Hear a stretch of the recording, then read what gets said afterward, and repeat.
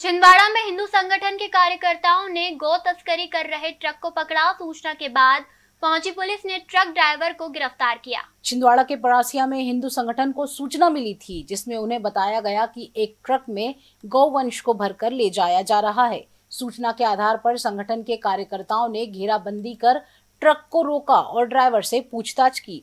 Truck खोलने पर उसमें गौवंश भरे हुए मिले।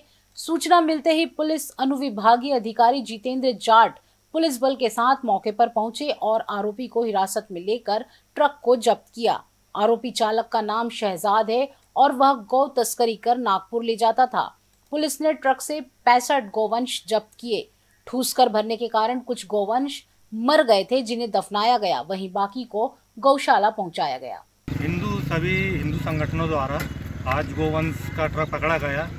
सूचना मिली थी कि भोपाल की ओर से ट्रक न्यूटन होते हुए आ रहा है। इधर परासिया बाईपास से रावणवाड़ा की ओर मोड़ा गया। सभी हिंदू संगठन के सभी लोगों ने पकड़ा एवं सुरक्षित उसे मोटा मेगा सिवनी गौशाला पहुँचाया गया। वो प्रशासन को उसकी खबर दी गई। प्रशासन ने, ने इस पर कार्रवाई की।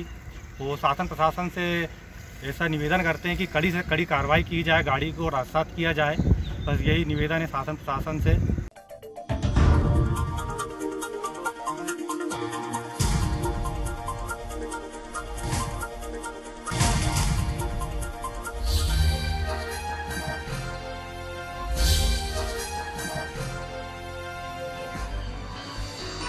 आप देख रहे हैं दखल न्यूज़।